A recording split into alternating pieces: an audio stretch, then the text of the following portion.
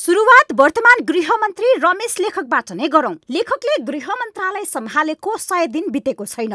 तर एकपछि अर्को बदनामीको टिका लगाइरहेका छन्। दाई भाउजू उर्फ सभापति शेरबहादुर देउबा र आर्जु राणाको आशीर्वादमा गृह हत्याएका लेखक अहिले दाई भाउजूकै दबाब र इसारामा चल्दा गृह हाँकेर कद बढाउनुको सट्टा आफ्नो राजनैतिक छवि समेत धुमिल पारिरहेका छन्। गृह सचिवको व्यवस्थापनदेखि प्रहरी अधिकारीहरूको सरुवा बढुवामा मनोमानी गर्दा उनी चौतर्फी आलोचित छन्।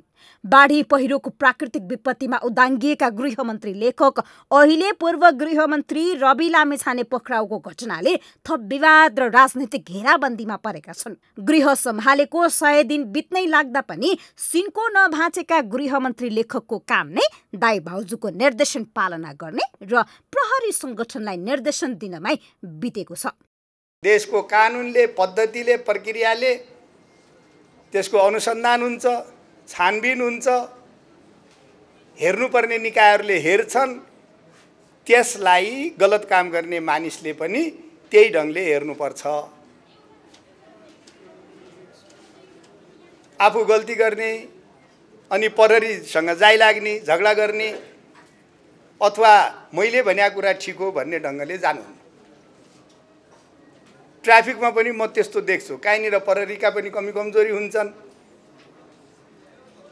त्यस्तो गर्ने मानिसलाई पनि सम्झाइ बुझाइ गरेर प्रहरीले ठिक ढङ्गले सेवा दिनुपर्छ। लेखक अघि उपप्रधान सहित गृहको तालाचाबी सम्हालेका रवि लामी छाने सर्वाधिक विवादित मध्येमा पर्छन्। जनमतको अवज्ञा गर्दै पदीय प्रलोभनमा परेर दुई हजार उनासी पुसमा पहिलो पटक गृहमन्त्री बनेका रवि लामी छाने महिना दिनमै नागरिकता विवादले पच्युत बने।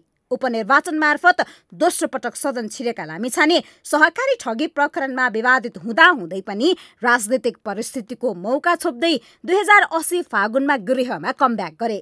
गृहमन्त्री नहुँदै सडकदेखि सदनसम्म लखेटिएका रवि एमाले माओवादीको सरकार ढलेपछि सत्ताबाट बाहिरिए।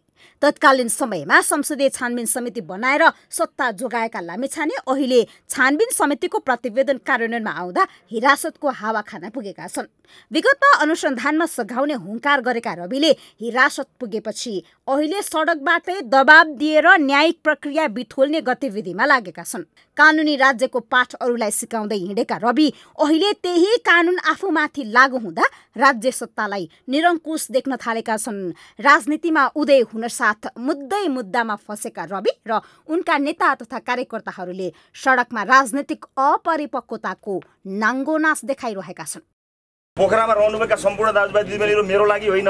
यो सरकार नढलेसम्म केपी ओलीको शासन सत्ता रहिरहेसम्म यस्ता अपराध भइरहन्छन् यो देश कहिल्यै बन्दैन। भ्रष्टाचारीहरूलाई संरक्षण गरेर सारा सहकारी पीडितहरू आफ्ना पार्टीभित्र पालेर भ्रष्टाचारको जगमा उभिएर अर्कालाई ठग भनेर झुट्टा मुद्दा लगाउने यसको छानबिन भयो भने मलाई जस्तै डेढ डेढ वर्ष लगाएर केपी ओलीलाई छानबिन गर्ने हो भने सबैभन्दा धेरै यो देशको भ्रष्टाचारको जगमा उभिएको मानिस केपी ओली हो। मुलुकमा शान्ति सुरक्षा र सुशासनको प्रत्याभूति गराउने शक्तिशाली र महत्वपूर्ण गृह मन्त्रालय सम्हाले पनि यसको संवेदनशीलता बुझ्न नसक्दा आलोचित भएका वर्तमान गृहमन्त्री लेखक र आफ्नो हरकतका कारण हिरासतमै पुगेका पूर्व गृहमन्त्री लामेछाने पछिल्लो उदाहरण मात्र हुन्।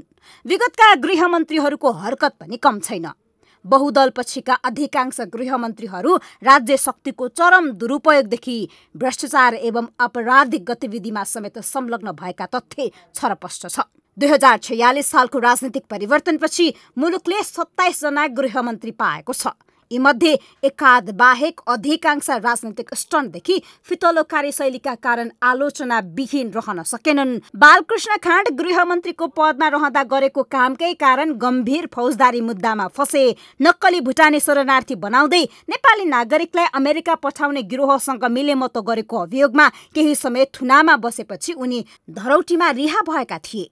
पूर्व गृहमन्त्री कृष्णबहादुर महरा जबरजस्ती करणी अभियोग र सुन तस्करी प्रकरणमा संलग्न भएकै कारण हिरासतको बास हुन पुग्यो। प्रतिनिधि सभाको सभामुख रहेका बेला जबरजस्ती करणीको अभियोगमा झण्डै चार महिना थुनामा परेका महरा पुनः सुन तस्करीसँग सम्बन्धित आरोपमा पक्राउ परेका थिए।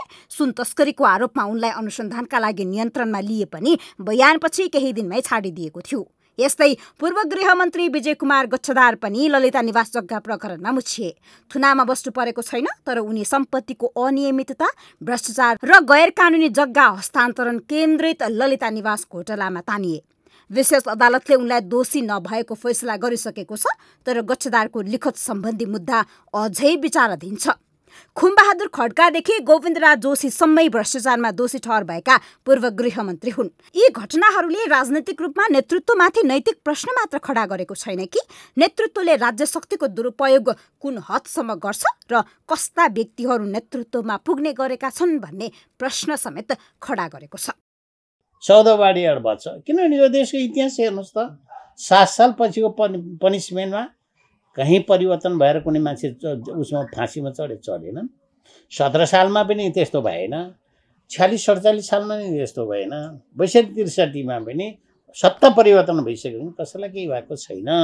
सत्ता र शक्तिको आडमा रजगज गरेका पूर्व गृहमन्त्रीहरूले कानुनी दायराबाट उम्कन भने सकेका छैनन् कानुनप्रतिको जवाफदेहिताबाट उम्कन सकिन्न भन्ने हेक्का नराख्दा देशकै प्रभावशाली मन्त्रालयको नेतृत्व सम्हालेका व्यक्ति चुक्न पुगेका छन्। सुशासनको नारा लगाएर नथाक्ने सरकारले तय गरेका नीति तथा कार्यक्रमको प्रभावकारी कार्यान्वयन गर्ने गृहमन्त्रीहरू स्वयं नै फौजदारी अभियोगदेखि मुद्दा मामिलामा मुछिएका एक दृष्टान्तले गृहलाई गिज्जाइरहेको छ।